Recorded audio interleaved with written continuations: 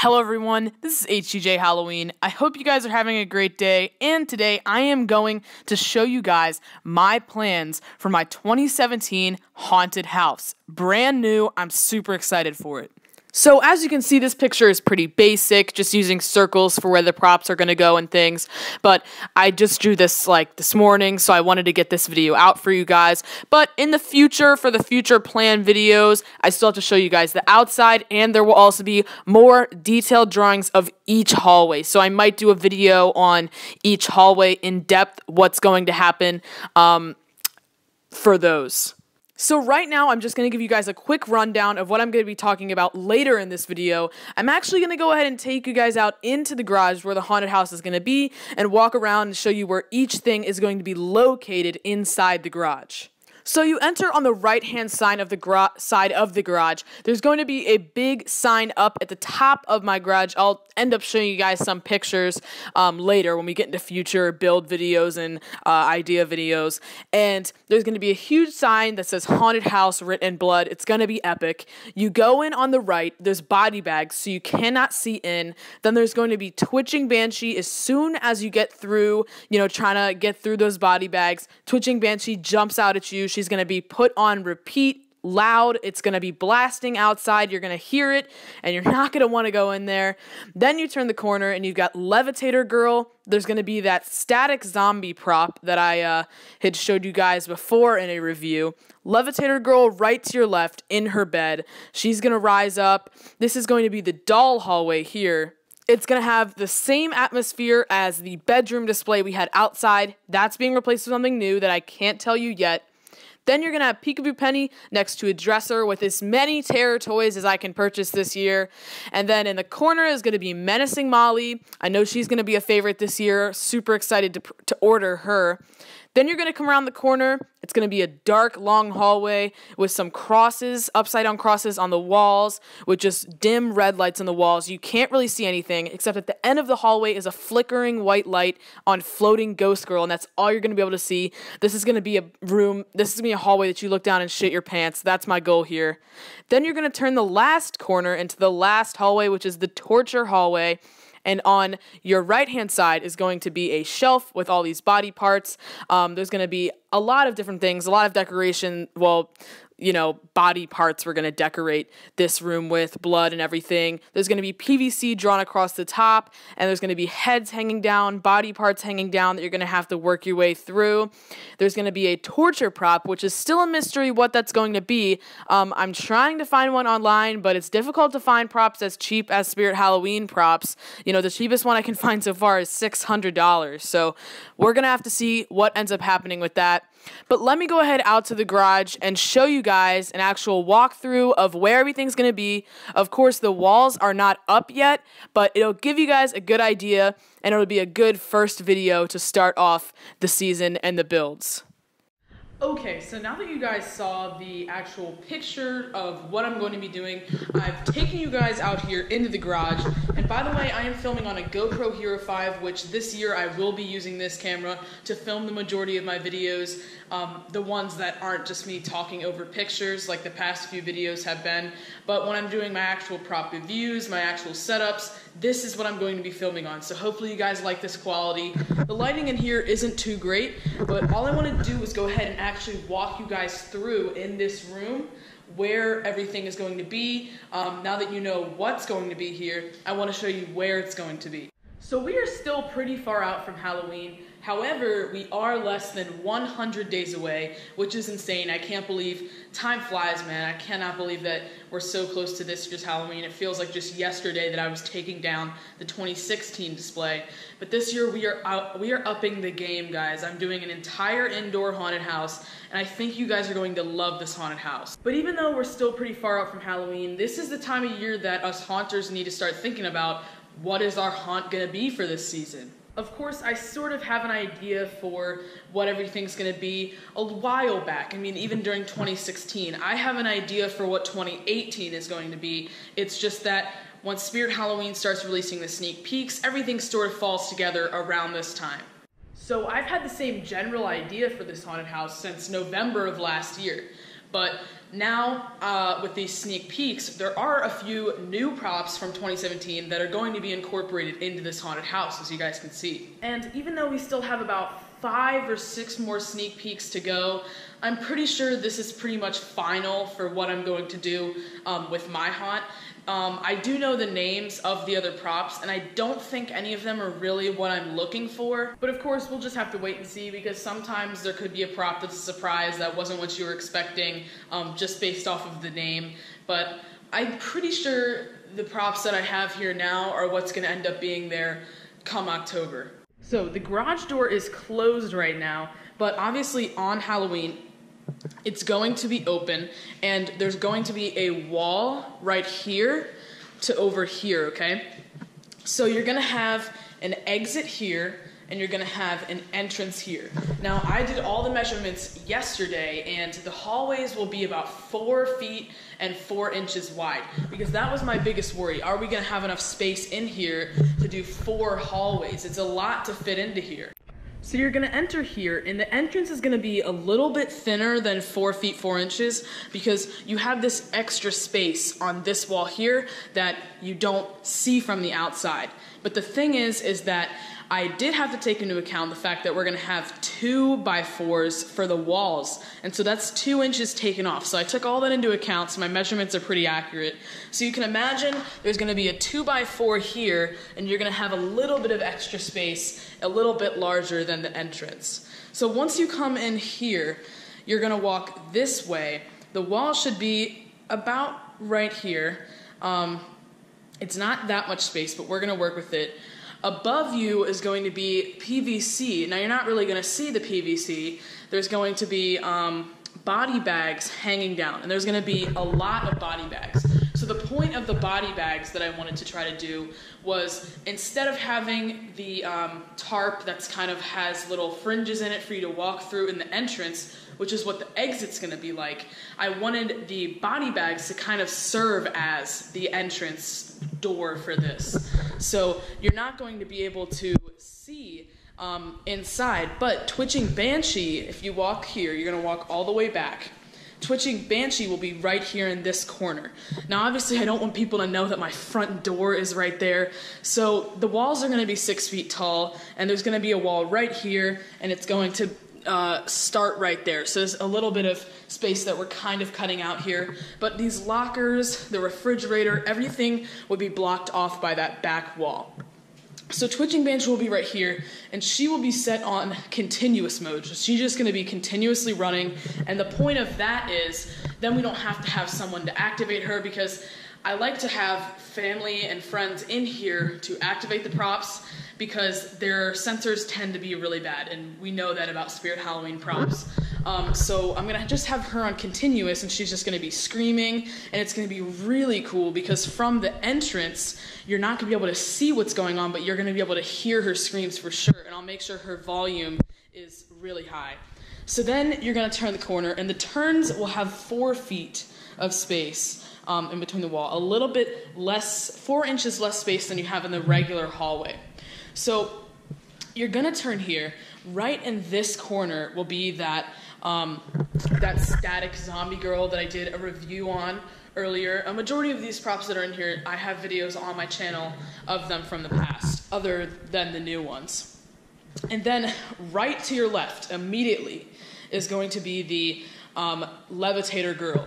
Now, this was something I decided on just this morning because at first I told you guys when I was reviewing the Levitator sneak peek that she was overpriced. I didn't really have a spot for her, and I was probably just going to get her, excuse me, on the clearance sale. However, I was thinking about this hallway. This is the doll hallway here. So now you guys will know what I'm talking about when I say my doll hallway of my haunted house um, doll bedroom. It's basically like the outdoor theme of last year brought into this one hallway. But I was thinking about it, and it seemed like there was a lot of empty space. And I really want it to be full. I don't want it to, I want to avoid it just looking like we took eight Spirit Halloween props and threw them in random locations in these hallways. I want to have tons of decorations. I also don't want to have empty space where it's just a wall, you know? I don't want to have too much of that unless that's what I'm going for in a certain area. Um, so I was realizing that this entire wall here is going to be kind of bare. So I think I'm probably to do this. I'm to make Levitator Girl a two foot wide bed. She's about 14 inches um, wide herself. So then I would go ahead and give her a 24 inch bed. So that's to take up about half of this floor. And I looked at two feet. It doesn't look too skinny. Like, it's like, is this really a bed? Like, what is that? It looks just about right to give us enough space, but also not look like weird because I'm trying to make it a bed. So she will be on a cardboard bed that will probably have to be reinforced underneath with little PVC poles or something so that she doesn't break through the cardboard. So she'll be right here. You'll be standing right at her feet, right here. And then she rises really well. I really do like her. It's just the overpriced thing. It's just the overpriced. I won't be pre-ordering her. I'll probably be purchasing her in store, but I'm hoping to get that and have her right here. Then on the wall we'll have some pictures and things. You got the zombie girl there. Then you walk here and Peekaboo Penny is going to be right up against this wall. And Right next to her is going to be a dresser. It's going to look similar to the one that was in my bedroom last year, but it's going to be a lot taller this time and a lot bigger. It's not going to be the exact same one. We don't even have that dresser. Um, so it's going to be a white dresser. It's going to have all the terror toys, the teddy bears. I'm going to get some new things. That girl that's like sewing her mouth. Um, you know, I'm just going to get a ton of terror toys to put in this area. I really want to make it all decked out and Peekaboo Penny will be standing right next to the dresser. She's a classic. Um, and in this hallway is going to be my cousin Lauren. She's going to be dressed like a doll, like she was last year. Um, hopefully, she is okay with doing that again because she's going to have a lot of props to activate in this room here. And so, right in this corner, once you get all the way to the end of this hallway, is going to be Menacing Molly. She's going to be hanging from a PVC across the corner there, so she's going to be facing the corner directly. And what I wanted to avoid was if she came straight out from the wall and wasn't in the corner, she takes up three and a half feet of space, so she'd almost kind of block your turn here. It'd be a little bit difficult. But if I put her in the corner, she'll come out to about right here, and you'll still be able to kind of get around her. Um, I just don't, I just hope nobody just runs into it. That would be bad. But um, originally I was going to have Broken Spine Girl here, and she would take up even more space. So that's okay. Broken Spine Girl is going back where she was last season. So Menacing Molly is going to be hanging from a PVC pipe in the corner, and she's going to do her stuff right here to finish off the doll hallway. Now you turn, you're halfway through. It's not that big of a space, but trust me, it's going to be utilized really well. So you're halfway through, and this is the hall that I want people to turn and be like, oh, hell no. Okay, you're gonna look straight down. There's gonna be no props in this hallway except for right at the end, right there, is gonna be floating Ghost Girl with a flickering light, and it's gonna be so dark in here, so the lighting is gonna be incredible. And she is going to just be at the end of this hallway with nothing else, looking down. And on the walls here is going to be a bunch of upside down crosses, anti-Christ symbols, not to offend anybody, but this is like the possession um, hallway, like demon kind of thing. Just really creepy atmosphere.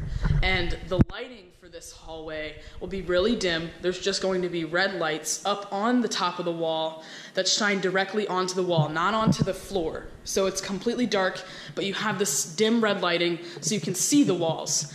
And then at the end, it's going to be her flickering, and it's going to be really, really creepy. And um, Floating Ghost Girl, I wish she was a little bit better. She's not that good of a jump scare, to be honest, but she looks really good um, when she has that flickering light on her. And of course, all this stuff here will be out of the way. All this stuff there will be out of the way. Um, then her step pad will actually be underneath of this wall so that my cousin in the doll hallway can activate her as soon as people turn this corner. So she's hopefully for most people that enter the haunted house, if everything goes right, will be floating when they turn the corner, okay? So then they come here, uh, they get past Floating Ghost Girl, and they come into this hallway. Now, immediately to the right is going to be this thing. I don't want to move this whole shelf because it's really heavy, it has a lot of shit on it, and I don't really want to move it. I'm not sure what it would be like if it didn't have the stuff on it, if it would be able to move, but I think it's in an okay spot. And once again, the wall is going to come up to here, and you will not see this refrigerator here. So I'm gonna have to take all of this stuff off and just pack it all into the shed, I guess. Um, and then what's going to go on here is body parts, legs, brains, hearts, heads. This is going to be the torture hallway. So you have your body bag, twitching banshee hallway, just kind of the introduction hallway. Then you have your doll, little girl hallway. Then you have your possession, floating ghost girl hallway. And then you come to your final hallway, which is the torture hallway. You're looking at the end. The exit is going to be tarp that is shredded so you can get through, but you can't see out directly. Um, so no one will be able to see in either from the exit. Um, and so then you're walking here, you see these body parts. There's going to be similar things how it was over there at the start. There's going to be PVC across the top, and there's there's going to be PVC across the top in majority of the hallways because that's where the lighting is going to be attached and all of the wiring is going to go up on top of the display. So six feet should give me enough space. Hopefully we don't have some crazy seven foot tall person because they would run into all of the PVC. But I don't think that's going to happen. We might even make it a little bit taller. We might make it seven feet um, just to make sure that doesn't happen. But so the PVC will be right here, and heads and body parts will be hanging from it. You know how Spirit Halloween has all of those different heads that hang? Um, those are really expensive too. That's going to be like, if we buy a bunch of those, that's going to end up costing the same as a prop. So that's kind of worries me a little bit. But the heads will be hanging here. And then right in this area, you see there's a little bit more space on this wall here. Um, so there's going to be chicken wire coming out, looking like a cage kind of thing. And inside there, maybe we'll even hang um, something from, hang it from here if it's a hanging prop.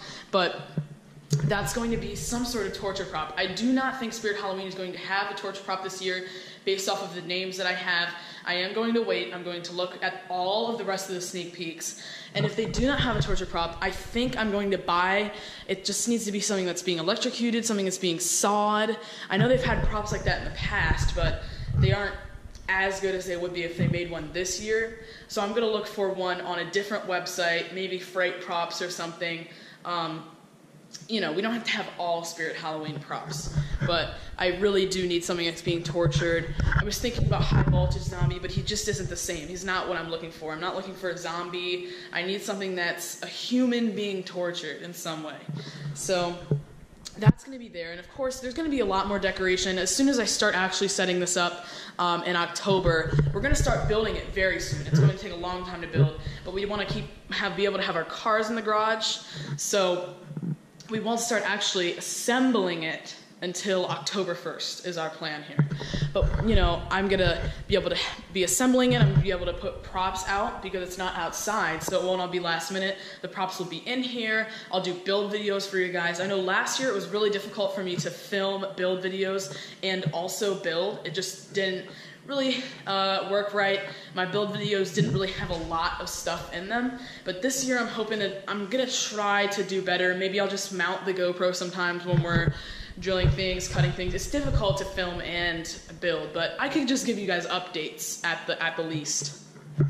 But as I look at it, there'll be more and more um, decorations on the walls. You know, if it looks empty in a certain spot, maybe we'll get another prop. And then my brother will be in this hallway his only job is going to be to activate this torture prop. That is literally all that he is going to have to do. Um, he doesn't really want to be a part of it that much, but I think he will once he sees how cool it's going to look in October.